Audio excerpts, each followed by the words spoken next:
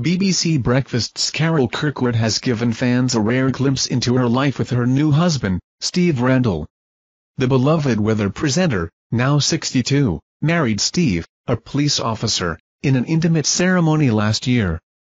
In a recent interview, Carol shared that Steve has seamlessly adjusted to her early morning routine, waking up with her at 2.45 am to make her a cup of tea before she heads to work at the BBC headquarters in London.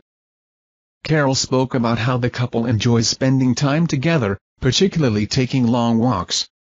However, after a serious accident during lockdown left her with injuries to her knee, thumb, and elbow, she had to give up running and cycling, now sticking to power walking instead.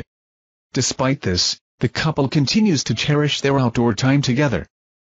Carol and Steve began dating in 2021, though she kept his identity private until their engagement. Steve, who is 13 years older, has a son from a previous marriage, while Carol split from her husband of 18 years, Jimmy Kirkwood, in 2008. Carol described Steve as kind, funny, and incredibly supportive, often leaving her little love notes for when she returns from work. She expressed her deep love for him, calling him the best thing that's ever happened to her, and emphasizing how much his small, thoughtful gestures mean to her. Their relationship is a testament to the simple, yet profound, ways they care for each other.